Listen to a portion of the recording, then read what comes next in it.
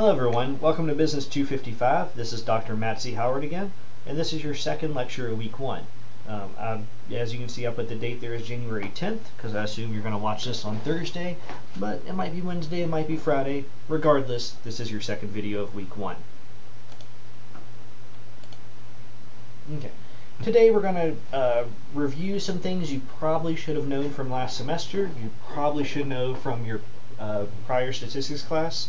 Um, and that's going to primarily be descriptive statistics and p-values. You should probably already know both of these concepts. If you don't, that's okay. We'll review them today. You can get a refresher. Um, but I'm assuming you know at least a little bit about these concepts already. Okay, so let's go ahead and start the review. So the first thing you should know about this class, or the first question you should ask in this class, is what exactly is statistics? Um, that term is thrown a lot around a lot. It means a lot of different things to a lot of different people. But for this class, statistics, part of it is extracting useful information from numerical data. It's extracting things we want to know, things we need to know, from numerical data that we collect. The numerical data could be something that's objective, like how many accidents happened at a factory, how many uh, products did the factory produce, how much revenue did a company generate, but it might be things that are a little bit more subjective. Um, so often in business research, we get employees to complete uh, surveys. The surveys might say on a scale from 1 to 7, how happy are you? On a scale from 1 to 7, how good of an employee are you? And we can do statistics with those answers. The people write a 1, 2, 3, 4, whatever they write down, and we can analyze, well, does what they write down relate to something else? Does what they write down relate to other things that they wrote down? So we can extract useful information from numerical data. Also, statistics, we make inferences about a population from a representative sample. Um, so these are terms you should have already encountered in your prior statistics course. So a population is the entire group that we're interested in, the entire uh, group of people that we want to know more about. So if we're doing business research, we might be interested in all employees ever if we're just interested in doing consulting work with a particular company, our population might just be the employees at that particular company. And then the other term in that answer is sample. So a sample is just a subset of your population. It's just a smaller group that you take from your population. And we typically perform statistics using the sample because the population is way too big. And also another thing you should know about what is statistics is to many statistics is a concept that cannot be fully described until you understand statistics itself. So right now it might be kind of hard to completely understand, well, what is statistics? But hopefully by the end of this semester, hopefully by the time you know more analyses, you know more what to do, you'll understand how to answer this question better. And there's a pretty good chance this question will come back and be on a test at the end of the semester. Just FYI. Okay. So why do we need statistics? What is the purpose of statistics? Now there's a lot of different answers you could give to this question. So we need statistics to draw meaningful inferences from observations. So often in business we observe things, we see that things have happened, maybe our company revenue has increased, maybe it's going through the floor, maybe it's just going up and down and we have no idea why. We need statistics to help us understand what's going on. Why do these changes happen? Can we measure something that predicts these changes? Or do these changes predict something else? Statistics can help us with that. And then related to that, statistics, we use them to make informed decisions. So after we collect that data, after we might perform some analyses to figure out, well, why is our revenue going up and down? We can then make informed decisions based on those statistics, based on the numbers, based on those results, that we got from the observations. Sometimes these results confirm our beliefs. Sometimes we already had something that we really knew really strongly, but we needed the numbers to be completely sure about it. And often more importantly, we need the, the numbers to convince other people about it. Just because you have a strong feeling, often in business, doesn't mean anything.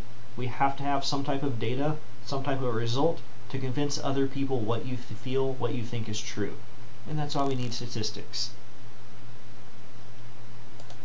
But other times we need statistics to reject our beliefs. There's so many times in consulting, there's so many times that I've worked with companies that the company has felt so strongly about something They hire me to do the analysis to prove their point, and then they're completely wrong. They have nothing, they knew nothing about the process, they had nothing that was correct, but they needed statistics to show them, well, what is going on? What do we really need to know? So sometimes statistics reject our beliefs. And then also we need statistics to further science. Across every scientific field of study, you're going to see statistics. So if you ever want to do research, if you ever want to do science, you need to know statistics. And then sometimes most importantly, statistics keeps us from believing stupid things. That all the time people throw out stupid ideas, stupid hypotheses, and you can't argue against it unless you can have data, unless you can have results that refute their points. So often statistics keeps us from believing stupid things. Okay, so think about these examples. Um, so how can statistics help us with the following? So after a record amount of snow, a newspaper headline read, What Global Warming? So think about that for a second. And as you probably guessed, statistics could be used to collect data, or you could collect data on temperatures across years, temperatures across months, temperatures across days, and then you could perform some analyses to see, well, is the trend still going up? Is global warming still happening? Even though there might have been a single dip where the temperature got colder, where we had a single bad snowstorm, but does that mean that on average there is no global warming? And the answer is, it's hard to tell. Um, you can have dips even though the temperature is steadily going up, so therefore you could have global warming just because you had a snowstorm. But you need the data, you need the statistics to support that. Another uh, example is a gambler predicts the next roll of a dice will be a 7 because the last three rolls were not a 7. So think about how statistics could help you with that. And as you probably guessed, statistics is heavily involved with probability. You often have to think about the logic of probability when you're doing statistics. And as you also probably guessed, just because the last three rolls of a dice were a 7, if it's a fair dice, have has no impact on what the future dice roll will be. So if I have a fair dice, no matter what I rolled in the past, has no effect on what I rolled in the future. And statistics can help us understand why that's the case. And we might talk about that further in the semester. Okay. Other things you should know about statistics just as a part of review. The statistics are an integral part of the scientific process. So in the scientific process, we create a hypothesis, and whenever you perform analyses, you have to have some type of a hypothesis. Um, often you don't even realize you have a hypothesis when you're doing the analysis, but it's there. There you have something that you're testing. You have some type of relationship you want to know more about. So you have some type of hypothesis. It might be really simple, it might just be that X is related to Y, but that's still a hypothesis. Then as part of the scientific process, you collect your data. So you think of an experiment, you think of some way you can observe something. It might be a survey, it might be a true experiment where you manipulate manipulate variables, or it might be something else altogether. But somehow you collect your data and you try to make it numerical in some way. Whether it's observing how many times something happened, whether it's counting something, or whether it's getting people to respond to a survey on a 1 to 7 scale. Once you have that data, you then analyze your data so that's going to be the focus of this course because this is this is a statistics course. We're really going to focus on how do you analyze your data, how do you take whatever you collected, whatever observations you have, and actually get results from them. And then you report your results. You're going to write up your results. We're not going to focus on that as much in this course, but if you ever take, uh, or if you ever enroll in the MBA program at South Alabama, I do teach the stats class in the MBA program, and we talk about reporting results over and over and over and over again. Uh, in the MBA program here for my stats course, most of the homework assignments are papers because I expect you to not only do the analysis, but I expect you to write it up and report the results in a manner that others can understand. Not so much for this course, but if you continue your education, that's what you should expect. And then you repeat the process. The scientific process is never completed. We always want to replicate our results, so you, then you repeat the process. And also you should know, even in practical applications, the function of statistics is very similar. That even when you're doing practice, even if you're consulting with someone, you approach the science or you approach your research questions in a very, very, very similar manner. So where do we start to learn more about statistics? As you probably guessed, today we're going to start with uh, talking about descriptive statistics, and we're going to get some initial ideas about what are inferential statistics, which you probably should have encountered that term already, but if not, that's okay. So descriptive statistics just provide a summary of your data. Descriptive statistics typically just do analyses with a single variable, and it just gives you a summary of that variable. It gives you a feel of what's the shape of that variable, what does that variable look like, what's going on with that variable. So it just gives you a summary of the data for that variable. And descriptive statistics include mean, median, mode, variance, standard deviation, and even things like skew. Um, I expect you to have already encountered mean, median, and mode. You probably encountered that as early as third grade. But also expect you to have encountered variance and standard deviation in your prior stats course. So once again, descriptive statistics just provide a summary of your data. On the other hand, inferential statistics infer relationships between data. Inferential statistics infer relationships between data. And inferential statistics include things like correlation, regression, t-test ANOVA, so on and so on. So inferential statistics typically involve more than one variable. It might include two, it might include three, so on and so on. And you're typically looking for some type of relationship between those variables. Um, it's typically something you cannot easily observe in your data. It's typically not something that you can open up your data set, look at the numbers, and think, hey, that's a relationship there. Instead, we need to perform inferential statistics to really identify these relationships, to really understand these relationships. And for both, we collect a sample. So what is a sample? What is a population? We already talked about this a little bit. A sample is a subset of your population, and your population is the entire group of people that you're interested in. So the population might be all the employees at a company, it might be all employees in the world. Your population is whatever group you're interested in making an inference about. And then a sample is a subset of that population. So if we're interested in all employees in America, we might just go ahead and get a sample of a few uh, randomly selected employees across the country. If we're interested in employees in Mobile, we might just go to a few companies in Mobile and get some data from those employees. And that is a subset of our population. And as I already mentioned, why do we use a sample and not a population? A sample is much more manageable. A sample you can actually collect. Typically the population is way, way, way too big to actually collect data from and to actually analyze. So therefore we collect a sample and we assume that that's a represent accurate or sorry, an accurate representation of our population. So that's why we collect a sample and not just a population. Okay, so that's all for the basic review. That's all I expect you to know about the general theory behind statistics at this point. Um, but let's continue to more review material, and we're going to cover descriptive statistics, which, like I said, I assume that you already know at least a little bit about.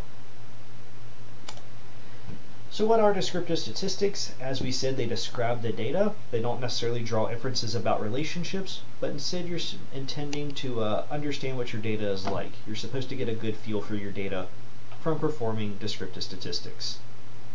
So why is it important you know descriptive statistics? So first off, most inferential statistics are built upon descriptive statistics. So later in this semester, well, pretty much the main thing we're going to be doing all semester is learning inferential statistics. And if you don't know descriptive statistics, you can't do inferential statistics. So it helps us with what we're doing later in the semester. It can also help us understand our sample. Descriptive statistics can also help us understand our sample. So if you perform some descriptive statistics and you get the result that the average tenure of our sample of employees was 5.4 years with a standard deviation of 4.7, then that gives you a feel of what your employees are like. They're relatively uh, they're moderately tenured. Five years is a moderate amount of time to be in a workplace. And you have a pretty good dispersion there, 4.7. Um, you're going to have some people that might have only been there a year, maybe two years. And you're going to have some people that have been there 10 years. You might even have some that have been there 15 or 20 years. But that's a pretty typical workplace. At the same time, descriptive statistics can help us understand whether something weird is going on with our sample or data. Um, so if you perform st descriptive statistics and you get a result that doesn't make any sense, you know that something weird is going on with our sample or data. So for instance, what if you collected a data set and your average ten tenure was 100.7? That would make no sense. Most people don't even live that long. So if the average tenure in your data was over 100 years, you would know there's something wrong with your data. And then on the other hand, what if your average tenure was 5.4 years, but the standard deviation was 20.7? Once again, that uh, dispersion, that standard deviation, doesn't really make sense given that average tenure. So you would know that something weird is going on in your data. That there might have been a wrong number entered somewhere, someone might have gave you bogus re results, or bogus answers, but you would know something weird is going on. And that's why we need to know descriptive statistics, is it gives us a good feel for our data, and it lets us understand, well, do we have good data? Do we have bad data? Is there something we need to fix? And you can answer all that. Okay, so first, when learning about descriptive statistics, we're going to talk about measures of central tendency. And this gives us, these statistics give us an idea of where the center of our data set is. Where is that midpoint of our data for a certain uh, variable? So the three measures we're going to talk about are mean, median, and mode. And like I said, you probably encountered these starting in third grade, but we're going to talk about it yet again. Okay, so first off, the mean also means the average. Whenever I tell you to calculate the mean of a variable, that could also mean just calculate the average of that variable. That would mean the exact same thing. So the mean is the most popular measure of central tendency. So usually whenever we get a data set, we first start by calculating the means of all of our variables just to give us a feel for our data set. Just to give us an understanding, is there anything weird about our data set? Is there something we should understand better? we just go ahead and calculate the mean of all the variables to get a good feel. So the mean describes the most typical or most expected value of a data set. So if we were to take a random value from our data set, on average, the mean would be the best estimator of that randomly selected value. So if we had a data set and we just randomly were picking numbers from it, just always guessing the mean would be the best estimate of what that value would be.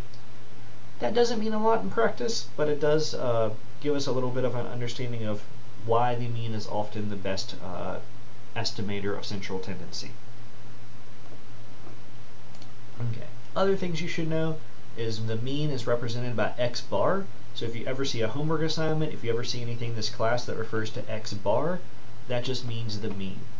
And there's the formula for the mean right there if you need it, if you want to learn more about it. I'm not going to expect you to remember the formula in this class. Um, like I said before, we're going to do most, most things in Excel in this class, but there's the formula right there if you really care about it. Okay, so here's a visual representation of a data set for a certain variable. Um, as you can see, the numbers go from 1 to 7. Most of the data falls in the middle, and if we were to calculate the mean for this data set, the dotted line is where the mean would fall. So as you can see in this example, the mean is a pretty good estimator of central tendency. It falls pretty close to where the what we would expect the middle of this data set to be. While the mean provides the typical or expected value, in some cases the mean can also be misleading. So let's look at this exa example. In this example, it also goes from 1 to 7, However, our data is bimodal, that we have two different distributions going on. We have a lot of people close to 1, and we have a lot of people close to 7. But if we were to calculate the mean, it would say that the middle of our data set is at the 4. And while technically that could be considered the middle of our data set, there's very few people that would be accurately described by the number 4. So even though that technically is the middle of our data set, the mean is a little bit misleading here, and we should think about that. And here's another example. In this data set, most of our values are 1, 2, or 3, but we also have one person at 19 and one person at 20. And because of that, when we calculate our mean, which is once again represented by the dotted line, it's a little bit shifted over to the right. That our mean in this example is about a 2.2, and that's not really the middle of our data set. Our data set is probably, the middle of it would be better uh, represented by something like a 1.6 or a 1.7 because that's where most of our data is. Most of our data is closer to the 1, 1.5 range. But because we have those two outliers at 19 and 20, that shifts the mean up. That increases the mean, and that can be misleading. It could be misleading to think that the mean of our data set, that the middle of our data set, is around 2.2, 2.3, when that's not really the case. So therefore, we should uh, be knowledgeable of other measures of central tendency. And one of these other measures of central tendency is the median. So the median is the value that falls in the middle of the data set. So the median is the number that falls right in the middle of your data set. So imagine rearranging the values in your data set from smallest to largest, and then finding the value that falls right in the middle, and that is your median. So if your data set had 101 observations, you would line it up from smallest to largest and pick the one that falls with at number 51, if I remember correctly. Um, so you would rearrange your data set from smallest to largest. You would count up until you get to right in the middle of your data set, the exact middle point, and that becomes your median. So what do you do if your median falls between two values? So what if your data set uh, has a certain number of participants or a certain number of observations where you don't really have a true middle. Your middle is between something like 50 and 51. Maybe your middle is between 10 and 11. You take the average of those two values. If you have a median, or if you try to calculate the median and there's no one number that falls right in the middle, you take the average of those two values. Fortunately, we're going to be calculating medians using Microsoft Excel. It's going to calculate it for us. It's going to provide the number for us. So you do not need to rearrange the values yourself and do all the counting. Instead, Excel will do that for you. But just know conceptually, this is what the median is. The median is rearranging your values from smallest to largest and finding that number that falls right in the middle. Okay, here's some more examples of uh, data sets and we calculate the median. So in this example, um, if we were to rearrange the data set from smallest to largest, the number fell between 4 and 5. That the two numbers in the middle was a 4 and the other number was a 5. So therefore we calculate the median, and the median of this data set is 4.5. And that looks pretty good for this data set. Um, that falls pretty close to what the center of this data set would be. So in this example, the median performed pretty well. However, going back to this example, the median once again falls victim to the same mistake that the mean made is that most of our data is between 1 and 7. If we rearranged our data set from smallest to largest, the two numbers in the middle were 3 and 5. We calculate the average of that, and we get a 4. So once again, this data isn't really that well uh, described by the number 4, but that's what the median was. That's what we got. So that's concerning. And then the last example, the median actually performs pretty well for this, is that even though we have those two outliers still, if we were to rearrange this data from smallest to largest, the number in the middle would be the number 1. That we had that many observations at number 1, that when you rearrange it from smallest to largest, the number we get in the middle was still number 1. Um, and that's a pretty decent estimator of where the median would be, um, or where the center of this data set would be, as most of our data is close to 1, close to 2, close to 3, so we want it to be shifted down there. But median's not perfect, so we should also be aware of another measure of central tendency, and that's the mode. So the mode is the number that appears the most. So you just look at your data set, you count up how many times each number appears, and the one that appears the most is the mode. Once again, we're going to be using Excel in this class. Excel will calculate it for you, so you don't have to count it yourself. You don't have to uh, count up every value yourself. Instead, you just tell Excel to give you the mode, and it gives it to you, but this is what that number means. So if you look at the examples we used already, the mode of the first example was 4. Once again, this works out really well. This is a pretty good estimator of the central tendency of our data set. So we're happy with how the mode performs here. In this example, the mode uh, was actually two numbers. It was 1 and 7. So both 1 and 7 appeared 40 times in our data set. So they're both the mode. You can get more than one mode and that describes this data set pretty well. It's bimodal. We see there's two different modes. It works well. And then also, the mode in the last example was number one. The number one appeared the most in our data set, so our mode is one. That works out pretty well once again. Um, so in these examples, the mode worked out pretty well. I will say, however, typically in practice, we almost always start by calculating the mean. On average, the mean works the best as our measure of central tendency. And I'll say that once again. On average, the mean works best as the measure of central tendency. However, if we think our data might be skewed, if we think our data might have a weird shape, if we think our data might be all clustered around the number 1 and there's very few people in the rest of the numbers, maybe the data, instead of looking like a bell curve, which you should have encountered already, instead of looking like a bell curve, it might instead have a bimodal distribution, or something like that. We would also calculate the median. The median is pretty resilient to non-normal distributions. So we first calculate the mean. If we think our data is skewed, we would then also calculate the median and provide both. And then to be honest, we rarely calculate the mode. Um, often our mode value doesn't really tell us a lot. Often the number that appears the most in the data set isn't really that informative, but we might calculate it sometimes. You might find it useful in certain situations. So you should know how to use it. You should know how to calculate it. So therefore, in some situations, we might calculate the mode. Okay, so that's all for uh, measures of central tendency. Now we're going to move on to descriptive statistics, measures of dispersion. So in addition to knowing where the center of our data is located, we're often interested in, how spread apart our data is. So we're not only wanting to know where the center of our data is, but we want to know whether that data is clustered together at that center, whether it's really close together at wherever that center value is, or our data could be spread apart. It could be that very few values are at our center, and instead all of our values are really spread apart. So in the prior examples, we had some that everything was really close to the number 1, really close to the number 2 or 3, and then we had the other example where everything was at a, either a 1 or a 7, and they were really spread apart. And it would be really helpful if we had a numerical indicator of that, if we could calculate a number that could do that. Fortunately, there is. So from knowing the central tendency and dispersion of our data, we can get a decent sense of what our data looks like without needing to plot it in a graph. So hopefully by the end of this course, if you just calculate the mean, the median, and a measure of dispersion, you should be able to pretty quickly understand what your data looks like. You shouldn't need to graph it. You should instead just be able to think, okay, I can understand what the center is. I can understand how spread apart the data is. It's often still really helpful to graph it, but you should be able to understand what your data is like just by looking at those numbers. Okay, the first measure of dispersion we're going to look at is the range. The first one we're going to look at is the range. So the range is really, really, really simple.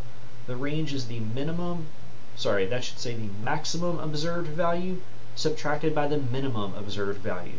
So that's a typo on the slide, make sure you note that. So the range is the maximum observed value subtracted by the minimum observed value. So the range is the max minus the min.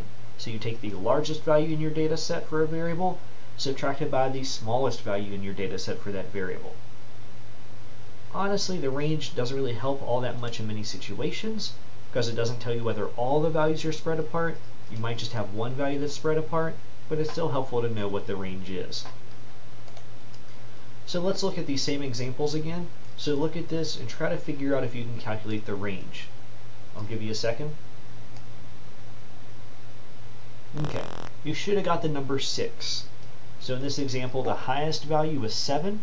So the highest data number in our data set was a 7, and the smallest was a 1 the smallest value in our data set was a 1.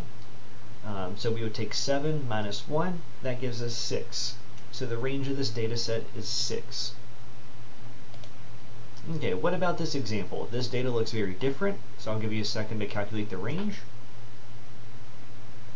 Okay, so even though this data set was very different, although it's shaped very differently, the range was the same. It was number 6. So as you can see, the largest value in this data set is a 7, the smallest is a 1, so 7 minus 1 is 6. So the range of this data set was 6. So as you can see already, that's one of the problems with the range, is your data sets might look very different, they might have very different properties, but the range might give you the same value. Kind of concerning.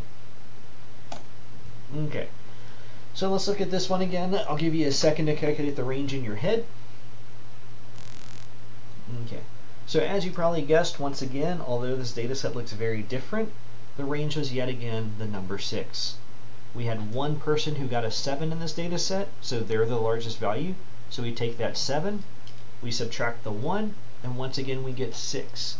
So in each of these examples, although the data set looks very different, we got the number 6 for all of those. And you probably should have seen a problem with this. you probably should have realized, hey, that doesn't really make sense. The data had different, uh, different clustering. Some of them were more spread apart. Some of them were closer together. But the range gave you the number 6 for all of those. And that's concerning. Fortunately, there are much, much, much better measures of dispersion. And you probably should have encountered them in your prior stats courses. The two we're going to talk about in this class are variance and standard deviation. So variance measures how far each number in your data set is from the mean of that variable. So it gives you an indicator of how far on average each number in your data set is from the mean of that variable in your data set. So each variable in your data set will have one variance value. So if your data set has the variables job satisfaction, job performance, uh, conscientiousness, things like that, you can get a variance value for job satisfaction you can get a variance value for job performance. You can get a variance value for conscientiousness. So every measured variable in the data set will have one variance value. And technically, the variance is the average of the squared differences between each observation in the data set for that variable and the mean for that variable. So you just calculate the mean, you subtract each observation from the mean, and then you square all those differences and add them up. Once again, I'm not going to make you learn how to do that by hand in this course. Excel will do it for you. There's no reason to do it by hand when computers can do it for you like that. But you should at least have a general idea of what the variance is. Okay, and then also standard deviation also measures how far each number in the set is from the mean. And once again, each variable, variable within a data set will have one standard deviation value. So very, very, very similar to variance. In fact, the standard deviation is just the square root of the variance. So to get the standard deviation, you calculate the variance, and then you take the square root of the variance to get the standard deviation. Once again, Excel will just go ahead and give you the standard deviation. It will just go ahead and give it to you. You don't have to do the calculation yourself, which is very convenient. So one thing that's convenient about the standard deviation is it returns the value back to the original unit of measurement. So when you calculate the variance, when you get the variance value, it's really hard to interpret. It's not really on the same scale as whatever, whatever variable you're looking at. However, your standard deviation is back on the original unit of measurement of whatever variable you're looking at. So if you're looking at revenue for a company, the standard deviation will automatically relate to dollar values. If you're looking at the employee ages in your company and you measured it by years, the standard deviation will automatically be in regards to years. So it's very, very, very useful. Standard deviation, as long as you know what the variable is, you can easily interpret it. You can quickly know, oh, it's a standard deviation of 3. That means it's a standard deviation of 3 years if we're looking at age, and we measured it in years. So standard deviation is extremely useful because it's already in the unit of measurement that the variable was measured in. Very useful, very easy. So because of that, standard deviation is the most popular measure of dis dispersion. Um, so when I do research, when I do consulting work, um, I almost always am given or I provide the mean, the median, and the standard deviation of the variables in the data set right off the bat. Um, people tend to expect that, people tend to like that, so at a minimum, you should always know how to calculate the mean, the median, and the standard deviation of a variable in regards to calculating descriptive statistics. That's very often expected in both research and consulting work, at least in the field of business. Okay. Something else interesting about the normal distribution is if we assume our data has a certain shape, then we can estimate where the values fall for our data. So if we can assume that our data has a certain distribution, we can estimate where the data falls for that variable. And the most common assumption about the shape of our data is the normal distribution, which is also called the bell curve. So you probably have already encountered the bell curve. This is a more complicated figure of it. Um, hopefully in your last stats class you at least saw this somewhat. So if you assume that your data has a bell curve shape, you can then estimate based on standard deviations where your data falls. So let's look at this easier version of the bell curve. So in this example, as you can see, uh, one standard deviation. So we have a negative one standard deviation, which is the negative one sigma. We have one standard deviation, which is the one sigma.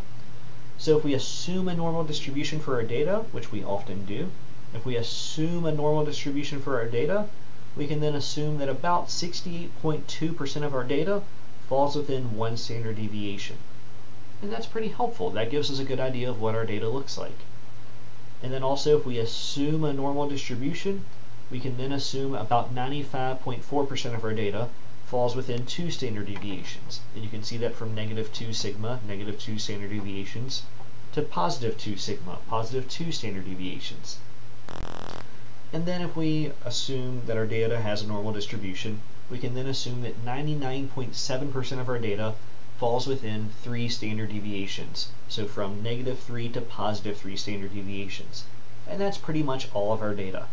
So if we assume a normal distribution, we calculate the mean, which is right in the middle with that uh, Greek uh, symbol mu. So if we calculate the mean, it's right in the middle. And then if we calculate the standard deviation and we assume a normal distribution, we can assume that 68% fall within negative 1 to 1 standard deviation, 95.4 fall between negative 2 and positive 2 standard deviations, and then 99.7% of our data falls within negative 3 to positive 3 standard deviations from our mean. So if this is confusing with you, go ahead, pause the video, look at this figure a little bit more, maybe look at the prior slide.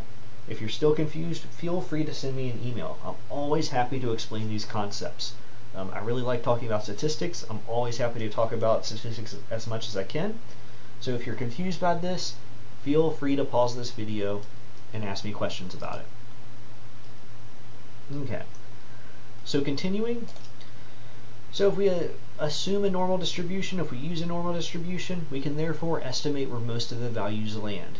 So if we collected a data, it doesn't matter what the data is, but if we collected data and we had a mean of 5 and a standard deviation of 1, Assuming a normal distribution, we can then get a good sense of what particular observations mean. We can then get a good sense of what particular observations, uh, how they relate to the broader sample. So for instance, if we have a mean of 5 and a standard deviation of 1, and a particular observation had a value of 3, we would know that's pretty far below the mean. We would know that they fall in the bottom about 5% of our data, based on that normal distribution on the prior slide. If we also got a different observation that had a value of 5, we would know that's right dead in the center, they're above about 50% of our data, and they're also below about 50% of our data. They fall right in the middle. And then the last one, if we had a particular observation that had a value of 8, we will know that they're a huge extreme, that our mean is 5, our standard deviation is 1, a value of 8 is 3 standard deviations above the mean, so we would know that they're in the top 0.3% of our data. They're above 99.7 of our observations. So we would know that they're a huge, uh, not necessarily an outlier at that point, but they're still at the top of our distribution. They're doing pretty well for themselves. And just based on assuming the normal distribution, which we often do, and knowing the mean and standard deviation, we can get good feel for our data. We can get good senses of what all that means. So in practice, a lot of data generally falls in this distribution, but not all and it's very important that you understand that. Um, not all of our data falls in a normal distribution, and it's often very problematic to make large decisions by norming, sorry, by assuming the normal distribution. So if you ever have to make a big business decision, if you have to make a big consulting decision, make sure you chart your data first. Make sure you plot your data first. And try to get a good sense, well, is your data normal? Does your data fit the normal distribution? because if it doesn't and you assume the normal distribution, you can have huge problems. Huge issues can arise. So think about that as you continue in this class. Okay, so let's think about some more examples. So let's say you're looking at age and you collected a, a data set, you collected some data and this is the age of the data set. The mean was 20 and the standard deviation is 1 what could you probably say about the data set? What would you automatically assume about that data set? You probably guessed it, you're probably looking at college students. If the average age of your data set is 20 and the standard deviation is 1, that means most of your data set falls between the ages of about 18 to 22, prime college ages. So if you have a data set with a mean of 20 for the age, a standard deviation of 1 for the age, you're probably looking at college students. Okay, what about this one? You have a mean of 70 and a standard deviation of 10. Okay, in this example, most of your data, most of the ages in your data set probably fall between about 50 and 90. Um, you might be looking at uh, I don't know, a retirement home. You might be looking at an older population, um, but you would know that you're looking at a specialized population. You're looking at a population that's different from the general population. They're much older, and your ages go to pretty far extremes. Okay, what about this one? A mean of 45 and a standard deviation of 10. Okay, in this one you're probably looking at a general employed data set, a general data set of employees. Um, because on average the people are, you know, 45, they're normal um, middle working age. Most of your data is going to go from about 25 to 65. Um, so that's the prime working age for most adults in America. Um, so you're probably just looking at a normal employee data set. And you can get that inference just from looking at the mean and standard deviation. Okay, and then how about this one? A mean of 45 and a standard deviation of 100. And if you had this, you would probably think that there's something weird going on with your data. It doesn't really make sense for the standard deviation to be so high when the mean is 45. Um, this would imply that your ranges of ages go from negative something to over 200. Um, so if you have a mean of 45 and a standard deviation of 100 for ages, you would probably assume something weird is going on in your data. Okay, let's look at the same type of thing for grades. So if we had a class that had a mean of 95 and a standard deviation of 5, what would you say about that class? You're probably right. You probably said that it's going to be a super easy class. That most of the grades went from about um, an 85 to 100. Um, if the limit was 100, you could still get a standard deviation of 5. It would be a skewed data set. You probably shouldn't assume the normal distribution, but we're going to ignore that for now. So if you had a mean of 95 and a standard deviation of 5, the grades are probably somewhere between an 85 and 100. So it's a pretty easy class. Okay, so what about this example? A class with a uh, grade average of 85 with a standard deviation of 5. And this one's probably a pretty average class. Most of the student grades are going to be between 75 and 95. You'll probably have a few a little bit higher than that, a few lower than that, but that's a pretty typical class. That's about what we would expect. Okay. And in this example, a mean of 75 and a standard deviation of 10. And this would be a much harder class. That, yeah, you would have a range of about 55 to 95, you do have some people, um, you know, in an A range, but that's a pretty low average, and you have probably quite a lot of people that failed the class. Um, so this would be a much harder class. And you can interpret that just by looking at the mean and standard deviations of the grades. Okay, so let's look at another example. So in this data or in these data sets, we have employee salaries. So let's say that you have employee salaries in your data set. The mean is $50,000 and a standard deviation of 10,000 you're probably looking at pretty average employees, probably pretty average blue collar uh, workers. You know, make fifty thousand dollars, standard deviation of ten. So their salaries probably typically go from about thirty thousand to seventy thousand if we're assuming a normal distribution. So a pretty typical workplace. What about this one? A mean of 125,000 and a standard deviation of 25,000. So if this was our data set, we're probably looking at some type of executives. We're probably looking at some type of upper management positions. So our data set's going to have wealthy people. That their salaries are going to range probably from about 75,000 to 175,000. So they're going to be wealthier employees. Um, so we're looking at a wealthier data set. Um, maybe Silicon, sorry, maybe Silicon Valley engineers, maybe Silicon Valley computer scientists, maybe managers, maybe executives, so on and so on. Okay. And then what about this one? Mean of 12,000, standard deviation of 0. So if this was your data set, you would probably either expect there to be some type of mistake, or you're looking at a very specialized data set. Um, this example actually comes from graduate student salaries at a university. Um, so there was a particular university that I was looking at at one point where every grad student, no matter who they were, made $12,000 a year. So in that case, the mean was 12,000 because that was the only value and the standard deviation was zero because no one made anything other than $12,000.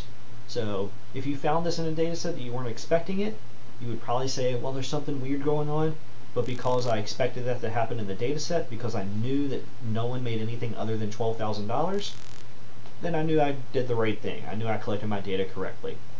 So So those are some examples. Uh, if you're still confused, feel free to pause, rewind the video, try it again, or shoot me an email. Because it's very important you know these concepts, because your homework will require you to calculate measures of central tendency and dispersion. So for your homework, I'll give you a data set. I'll send you a little Excel how-to guide. You should go through the how-to guide first. You should make sure you understand how to calculate it first ahead of time. And then you do it yourself on the data set I provide for the homework. So the homework, I'll give you a data set and tell you to calculate the measures of central tendency and dispersion, and that's going to be it. So make sure you understand these concepts pretty well before continuing. Um, and if you're confused about anything, shoot me an email. I'm happy to chat. But I should have sent you an email already that gives you instructions, that gives you the how-to guide, and tells you how to access your homework. And also make sure you get started early. The homework for this class is going to be due Sundays at 11.55 at night, so right before midnight. So make sure you don't wait till the last minute. Make sure you get started early, do your homework before then. Mm. Okay, and then the last topic of this review is p-values. The last topic of this review is going to be p-values. And once again, expe i expect that you've already encountered this topic. I expect that you already know a little bit about this topic. So we're not going to cover it super in depth because I expect you to generally know it already. Okay, so whenever we do inferential statistics, which we'll be learning later in the semester, whenever we calculate any type of inferential statistic, we have a hypothesis. And we already talked about this earlier in this lecture. We have some type of hypothesis. So for example, our hypothesis might be pretty simple, such as a relationship exists between job satisfaction and job performance. So our hypothesis might just be simply a relationship exists between job satisfaction and job performance. Whenever we propose a hypothesis, we therefore also have an implied null hypothesis. What is a null hypothesis? It just says that no relationship exists. It just says that no effect is going on. So an implied null hypothesis in this example would be that no relationship exists between job satisfaction and job performance. So our hypothesis, a relationship exists. Null hypothesis, no relationship exists. So p-values tell us the likelihood of obtaining our observed results if we assume the null hypothesis is true. So what this is saying is whenever we perform inferential statistics, it will give us a p-value, and it says assuming there's no effect, this is the likelihood of obtaining our observed results. So assuming the null hypothesis is true, this is the likelihood of obtaining what we did obtain. So if our p-value is really small, if it's 0.01, then that says there was only a 1% chance of obtaining these results if no effect was actually going on, if our null hypothesis is true. On the other hand, if our p-value is really high, if our p-value is 0.95, then it's saying that there is a 95% chance of obtaining these results assuming the null hypothesis is true, assuming there's actually no effect going on. So using this logic, if we can say that the observed results were very unlikely if we assume the null hypothesis is true, we can then reject the null hypothesis. So if we say that our observed results were very unlikely, so if we get a p-value of something like 0.01, if we say there is only a 1% chance of observing this if the null hypothesis is true, then we can reject the null. We can support our hypothesis. We can say there's probably an effect going on because it was so unlikely to observe this if there was no effect, we therefore assume an effect. We therefore reject the null hypothesis. So if we can say that our observed results were very unlikely, if we assume the null hypothesis is true, we then reject the null hypothesis. And to do this, we use a 0.95 level of significance. So in other words, we only want to reject the null hypothesis if our data had a smaller than 5% chance to occur if the null hypothesis is true. So when we perform our analyses, when we do inferential statistics, we look at our p-value. If our p-value is less than 0.05, we then reject the null. And that's extremely important for you to know. If you missed that, pause the video, rewind it, listen to it again. We perform our inferential statistics, we get a p-value. If our p-value is less than 0.05, we then therefore say the null hypothesis was unlikely to be true. It was unlikely to get this data if our null hypothesis is true. So therefore, if we get a p-value of less than 0.05, we reject the null, and we then assume that our hypothesis is correct. We then assume that we made a good hypothesis. We made a good prediction. So we're always looking for that less than 0.05. We're always hoping that our p-value is less than 0.05 because then we can reject the null. Okay, so let's look at this example. So for example, let's say that we tested whether the population mean is significantly different than zero. So to do so, we collected a sample, performed the relevant analysis, and received a p-value of 0.03. So that's our example. So first off, what is the null hypothesis? What is the null hypothesis? So in this example, the null hypothesis is that the population mean is zero. So it's saying that there's no effect going on. The null hypothesis is there's no effect. So it's saying the population mean is zero. It's saying it's not significantly different from zero. It's saying that it is zero. So the null hypothesis, no effect. It's saying that the population mean is zero in this example. Uh, whenever you perform inferential statistics, the null hypothesis is going to differ based on that statistic, but it's always that there's no effect. It's always that the effect is zero. So if it's a correlation, the correlation is zero. If it's a t-test, it's that the t-statistic is zero. In this example, it's that the population mean is zero. Okay, so in this example, what is the p-value telling us? So in this example, the p-value is telling us if we assume that the population mean is zero, then the likelihood of observing the data that we collected, so the likelihood of getting the data or getting the results from the sample that we collected was only a 3% chance. That's saying that assuming the population mean is zero, the likelihood of obtaining our results from our sample was only a 3% chance. It's saying it's super small. That's a very small chance. So therefore, should we accept or reject the null? In this example, we should reject the null. So the p-value we got was less than 0.05. That's a pretty small chance. So we should reject the null. We should say that since that was such a small chance of occurring, the null is probably not accurate. The null is probably not the effect that's really going on. So we can reject the null because our p-value is less than 0.05. And then what would our interpretation be if we got these results? Our interpretation would be that since we could reject the null, the population mean probably is significantly different from zero we can say our population mean probably is something different from zero. So we can reject the null, we can say the population mean probably is significantly different from zero. Okay, so once again, this is just the quick, the thing you have to know for this class, the thing you absolutely should know moving forward, is in general, we just interpret p-values, is if the p-value is less than 0.05, then the effect is statistically significant, so we say that the effect that we're looking for is actually observed in our data. So if the p is less than 0.05, the effect is statistically significant. If the p-value is greater than 0.05, if the p-value is more than 0.05, if the p-value is greater than 0.05, the effect is not statistically significant. The effect is not statistically significant. So if the p-value is greater than 0.05, the effect is not statistically significant. So we would say that the null hypothesis, we could not reject it. Our hypothesis, we cannot assume it. The one that we proposed, we cannot assume that our hypothesis is true. So we would say that the effect is not statistically significant, and we cannot reject the null hypothesis if the p-value is greater than 0.05. Okay, so last thing is also take a quick look at these numbers and try to figure out which of the following are statistically significant. So take a quick look and try to figure out which of the following are statistically significant. Okay, so the first one, 0.000001, that is statistically significant. That is much smaller than 0.05. So we would say that the first one is statistically significant. The second one, 0.10, we would say that's not statistically significant. That is greater than 0.05. 0.1 is greater than 0.05. So we'd say that is statistically significant. The third one, 0.5. Sorry, let me back up. I think I just made a mistake in what I said.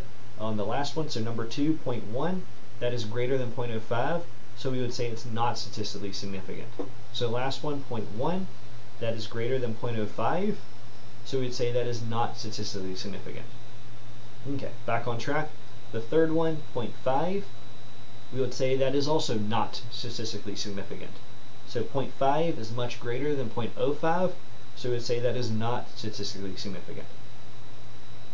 The fourth one, 0.3, once again 0.3 is greater than 0.05, so we would say that is not statistically significant.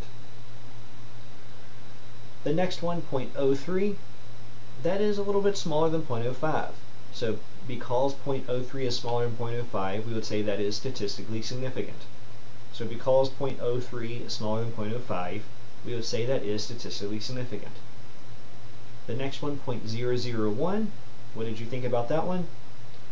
Again, that is smaller than 0.05, so it is statistically significant. 0.001 is smaller than 0.05, so we'd say that our results are statistically significant and we can reject the null hypothesis. The next one, 0.02, once again is smaller than 0.05, so we would support our results. We could reject the null hypothesis because 0.02 is smaller than 0.05. And the very last one, 0.051, could you guess it? Hopefully you're right, 0.051 is a tiny, tiny, tiny bit larger than 0.05. 0.051 is a tiny, tiny, tiny bit larger than 0.05. So therefore that is not statistically significant. For something to be statistically significant, it must be smaller than 0.05. 0.051 is larger, so therefore it is not statistically significant. Okay, so if you're still confused, I have a website. It's mattchoward.com, and I like to make statistical help guides. I make guides to help students learn statistics. Um, I use it a lot for my classes. If you're still confused about p-values, check out mattchoward.com.